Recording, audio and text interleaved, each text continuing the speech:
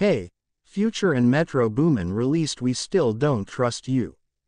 Future and Metro Boomin's We Still Don't Trust You features ASAP Rocky, The Weeknd, and J. Cole. Future and Metro Boomin's new album We Still Don't Trust You is packed with even more smoke for Drake, but this time from new players. After Kendrick came after Drake on We Don't Trust You, Future and Metro enlisted ASAP Rocky and The Weeknd. ASAP Rocky's Show of Hands. Verse, he seemingly calls for all the dogs a flop and pokes at a shared dating history, and The Weeknd croons through some spicy lyrics that people are interpreting as shots at Drake on. All to Myself. ASAP Rocky, Show of Hands. ASAP Rocky sends some of the album's most direct shots at Drake on. Show of Hands. When he raps, Call up Pluto, Metro, should have put me on the first one, niggas in they feelings over women, what, you heard or something. I smash before you birthed son. Flacko hit it first son, still don't trust you. It's always us, never them. Heard you dropped your latest shit, funny how it just came and went. ASAP Rocky's bar about how Future and Metro should have put him on the first one has fans speculating that the duo called in even more artists to send shots at Drake on this new album. When ASAP Rocky says, I smash before you birthed son, Flacko hit it first son, he doesn't name any names, but people are interpreting it to mean that he was with Drake's baby mother Sophie Brussaux before the birth of their child Adonis, and there were rumors in 2018 around the same time as the Pusha T vs Drake beef that support this claim.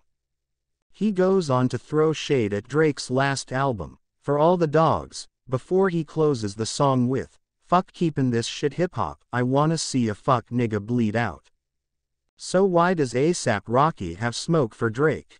Well, fans originally speculated that Drake had dissed Rihanna and Rocky on 2023's Fear of Heights, when he sang about his past experiences with Rihanna. And on another late night, Drake even mentioned ASAP Rocky by name, The Weeknd, all to myself. Instead of making his potential subs at Drake sound venomous, The Weeknd does what he does best and sings the disses like an angel on the fluttery, all to myself, which samples the Isley Brothers, Let's Lay Together. On the track, The Weeknd croons, they could never diss my brothers, baby, when they got leaks in the operation. I thank God that I never signed my life away, and we never do the big talk they shooters making TikToks.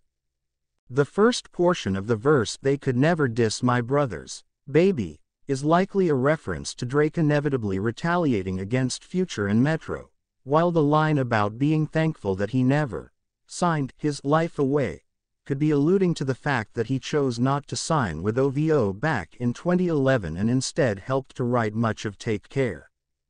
Fans are also speculating that the line about shooters making TikToks is a jab at Drake's mob persona being a farce, as some have pointed to his old bodyguard artist Baka Not Nice making TikToks. Drake and The Weeknd have a long and complicated relationship that dates back over a decade.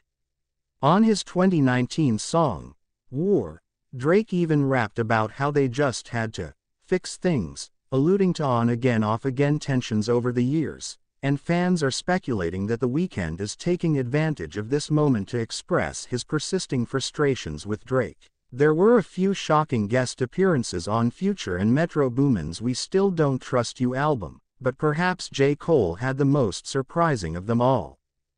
Thanks for watching.